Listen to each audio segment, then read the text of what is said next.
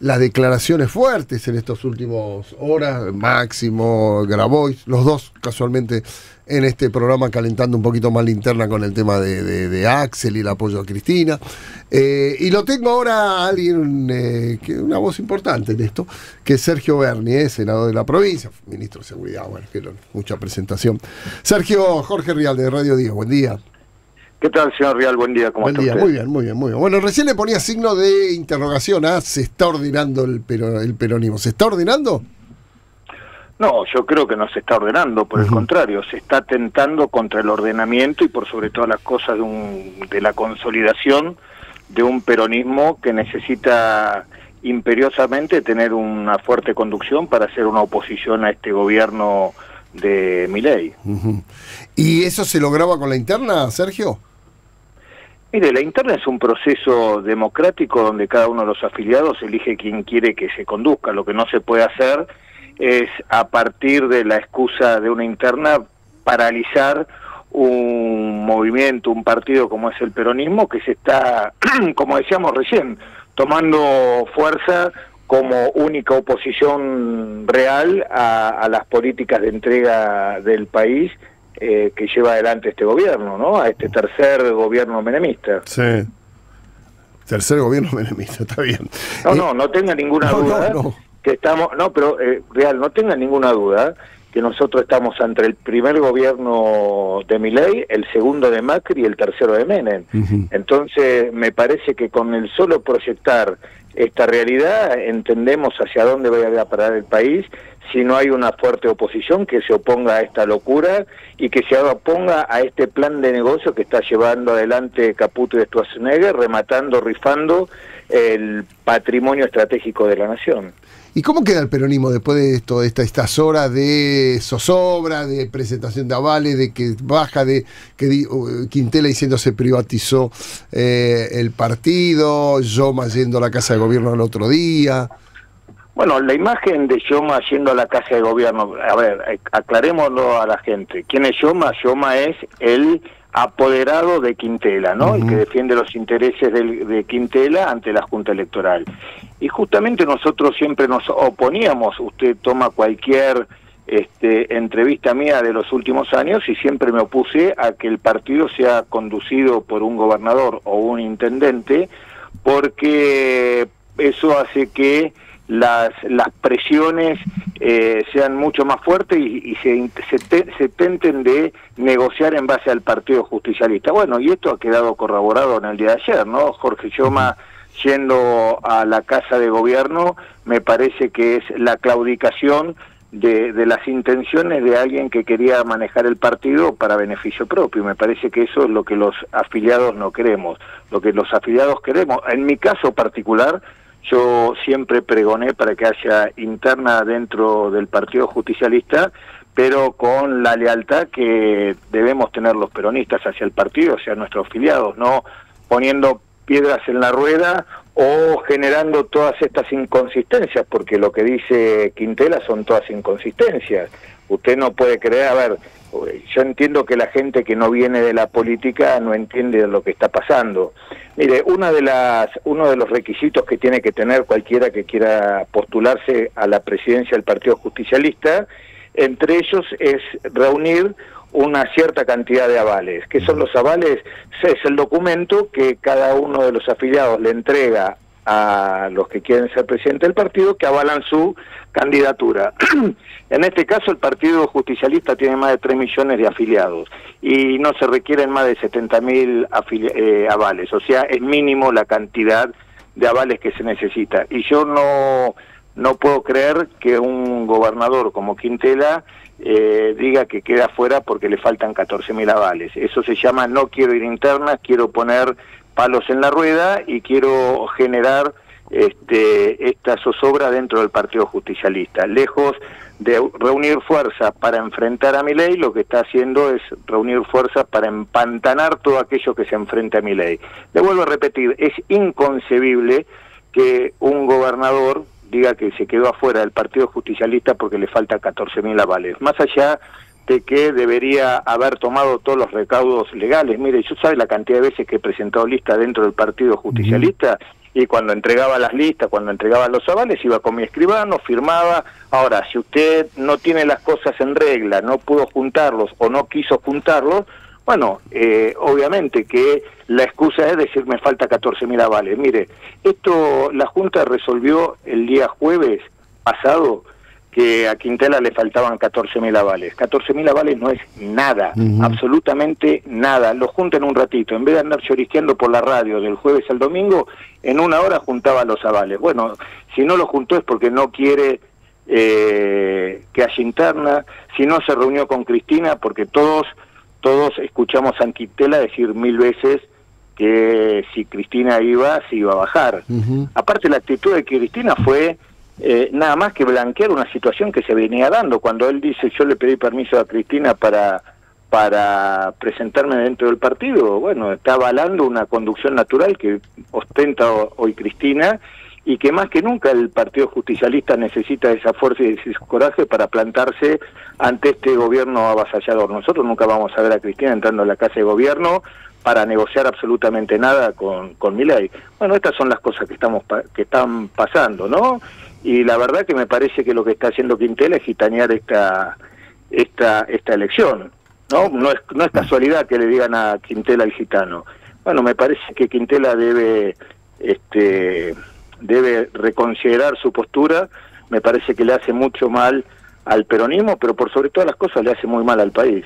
Y vuelvo a apelar a la racionalidad de, de todos aquellos que rodean a Quintela no que viene por sobre todas las cosas de una de una, de una tradición, de una historia en la lucha del federalismo de la Argentina bastante importante. Yo no me imagino a Facundo Quiroga cuando lo asesinaron en Barraca Yaco andar este, llorisqueando por 14.000 avales. Yo me lo imagino a Facundo Quiroga yendo a Barranca Yarco, sabiendo que lo iban a asesinar, pero que tenía la convicción de que la Argentina tenía que transitar un camino. No me lo imagino a Chacho Penalosa cuando lo desgollaron frente a su familia andar llorisqueando por 14.000 avales.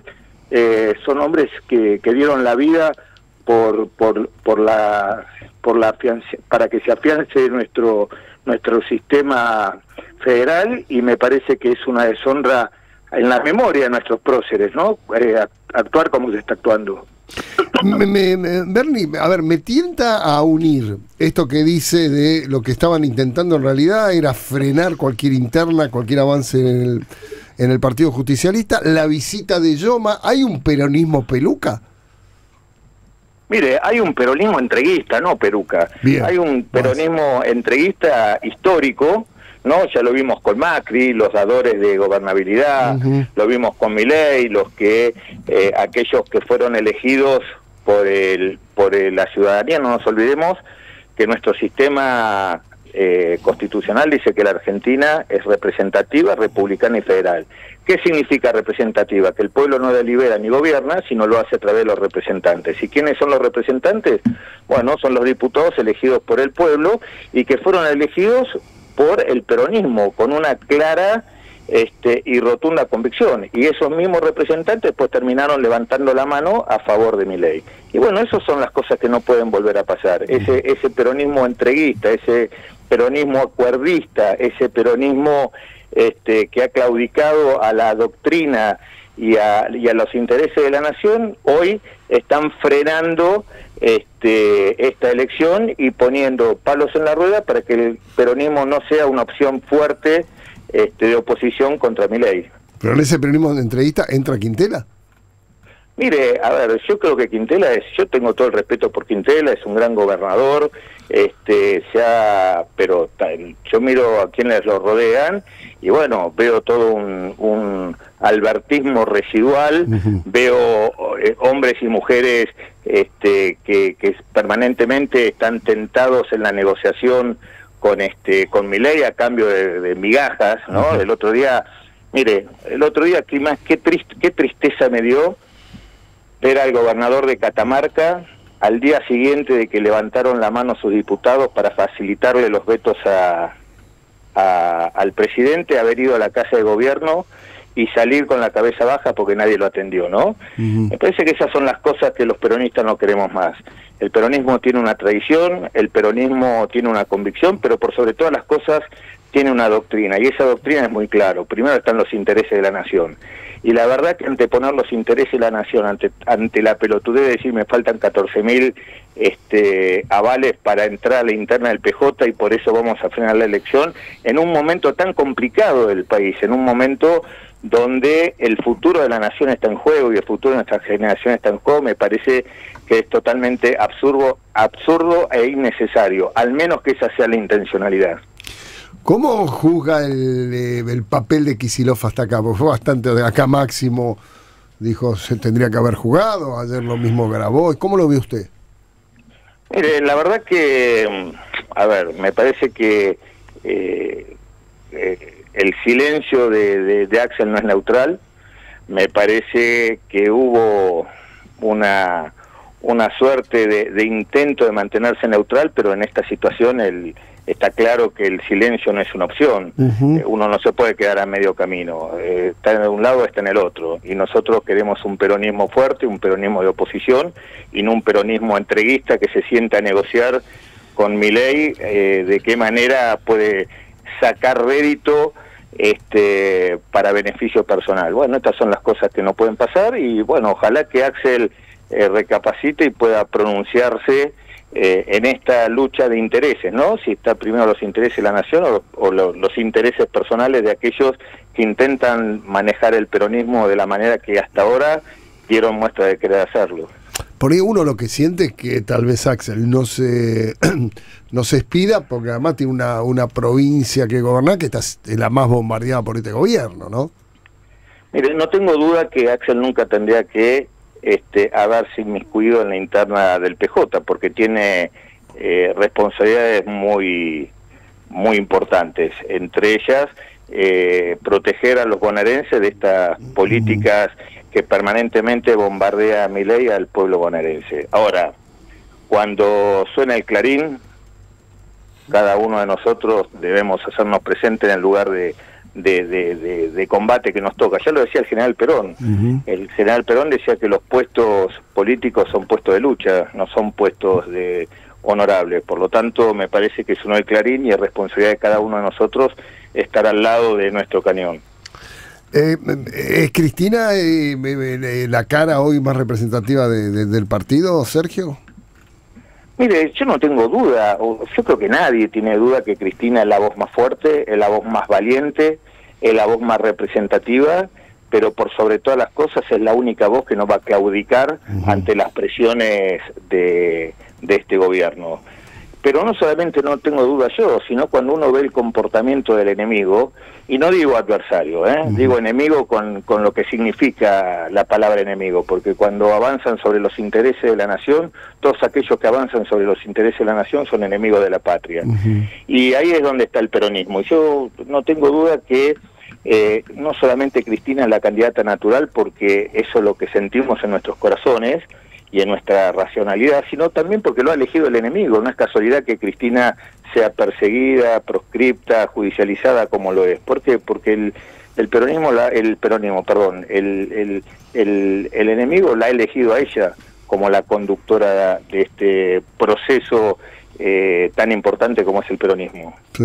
Ahora, eh, ¿esto de ser presidente del PJ es una es, es, una, es el final o es apenas un, una parada en el camino para algo más, más importante, hablando de Cristina, obviamente. No, mire, yo en este momento lo que interesa es defender estos intereses que están siendo avasallados y en esa en esa postura es el peronismo el único dique de contención. Este, pensar que podemos desde el peronismo en esta elección eh, precipitar una, una idea que va a pasar en el 25, en el 27, me parece que no, no corresponde, no es lo, correcto y es una lectura totalmente este, anticipada prematuramente. Lo que hay que hacer es ordenar el peronismo, tener nuestra voz fuerte y ojalá que Quintela desista de esta locura que está llevando adelante, ¿no? Que lo único que hace es perjudicar al pueblo al pueblo argentino, perjudicar al pueblo peronista. Mire, yo lo he escuchado a Quintela decir, bueno, también, a ver, también lo he escuchado decir que si ganaba mi ley renunciaba a, a, la gobernación de La Rioja. ¿Lo dijo o no lo dijo? Sí, sí, sí, me acuerdo. Bueno, este, todavía sigue siendo gobernador. Yo no tengo nada contra Quintela, pero Quintela no puede poner en jaque los intereses eh, del peronismo. Quintela no puede no puede actuar como está actuando y me parece que tiene que comprender que primero están los intereses. Mire, yo lo escuché a Quintela decir, yo a esta altura no me puedo bajar porque hay mucha gente comprometida en mi candidatura. ¿Desde cuándo en el peronismo primero están los intereses personales y no están los intereses de la patria y los intereses del movimiento? Bueno, está claro que Quintela se está alejando permanentemente de nuestra doctrina peronista y me parece que hay que llamarlo a recapacitar, hay que llamarlo a la reflexión y que entienda que en un momento tan trascendental como el que está viviendo la Argentina no puede estar haciendo este tipo de chicanas que lo único que hace es favorecer a Javier Milei, al menos que, al menos que hasta ahora no me queda claro que ese es el plan, ¿no? Favorecer el avance de este gobierno impidiendo que el peronismo se oponga a este rotundamente a este modelo económico. Sergio, como siempre, un gustazo, ¿eh? abrazo enorme. Por favor, hasta luego. Sergio Berni, eh, charlo fuerte, eh, salió fuerte contra Quintela. Perdón, no te dejé preguntar. No, no pasa nada, no pasa nada. no pasa nada, no, el planteo que